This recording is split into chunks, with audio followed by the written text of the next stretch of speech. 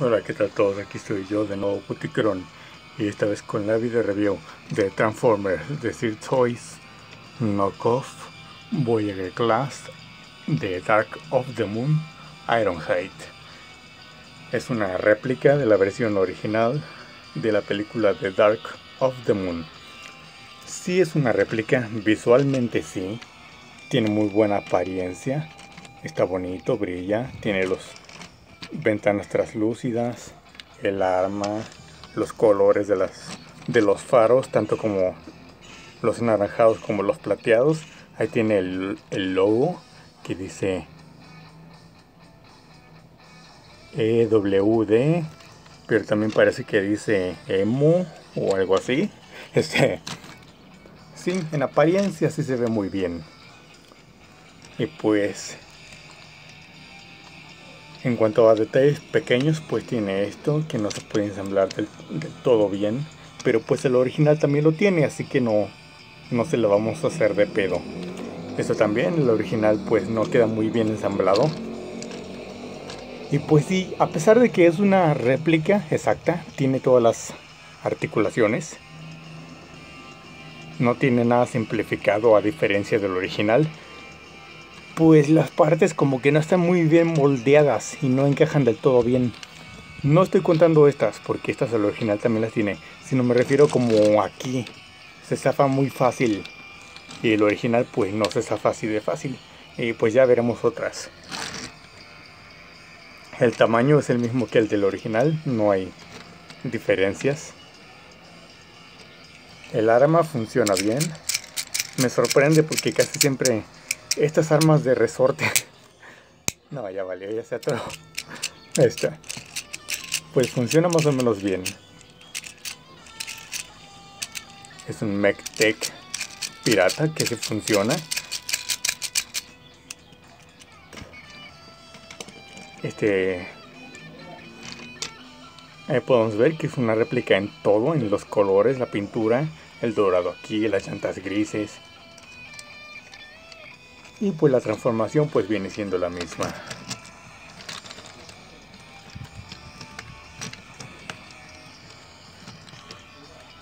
No hay mucho énfasis que hacer.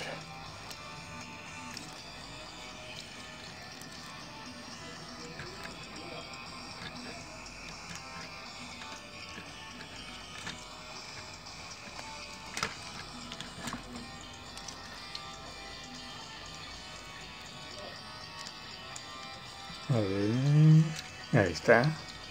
Muy bien.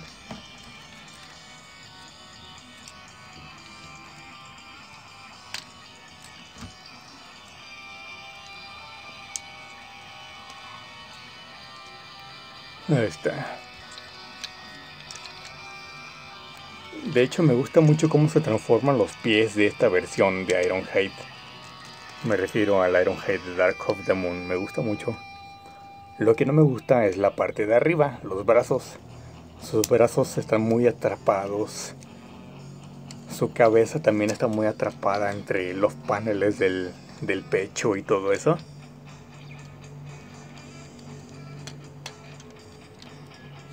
Es una figura muy atrapada en sí misma, muy introvertido.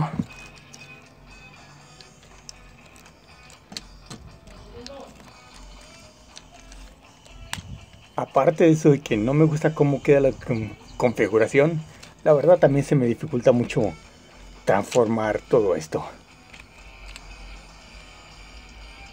A veces yo creo que a todos les pasa que se acaba zafando una pieza. Ah, yo pensé que ya se había caído. Lo que pasa es que ya lo puse al revés. A mí casi siempre se me caen esas piecitas, las de la defensa. Y también se me cae esta. Hasta ahorita parece que todo ha salido bien. No me refiero a esta figura exactamente, sino a la original. A causa de la transformación tan rara.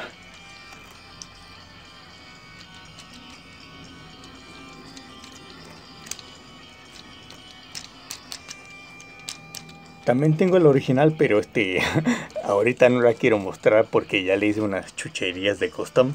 Casi nada más estaba esperando que me llegara la knockoff.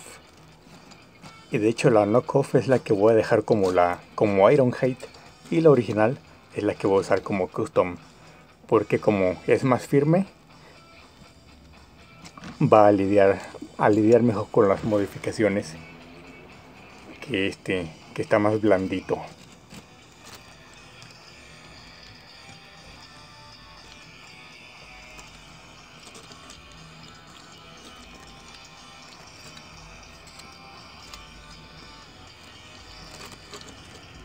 Ya casi, ya casi acabamos, no te desanimes.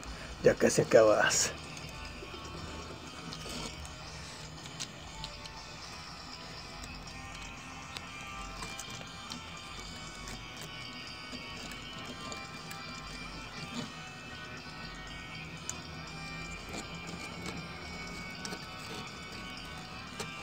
Y pues ahí lo tenemos a nuestro Ironhide knockoff.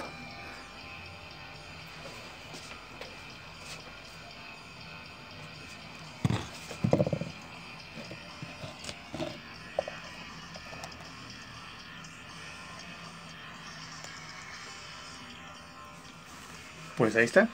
Articulaciones pues son las mismas. Las del fémur. También tiene el, el ratchet que hace que las piernas se vayan atorando. Muy bien. Hacia los lados pues ya no las tiene. Pero tampoco la original. Rodillas pues tiene la articulación doble. Una aquí. Y otra aquí. Los talones muy buenos Entonces ya si tu Ironhead se puede parar así.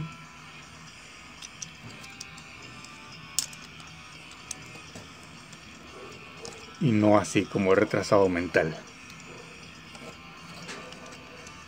Este, bueno ya lo notaron, esta parte no ensambla para nada.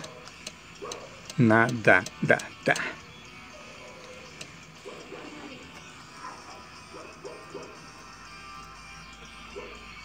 Sí, no ensambla para nada, no sé. Ahí tienes que estar haciendo balance para que no se te abra. Pero pues ya las demás articulaciones, pues sí están suavecitas respecto a la original, pero pues sí, sí aceptan. Sí, se sostienen a sí mismas. Sostienen a la figura. Y pues eso es aceptable.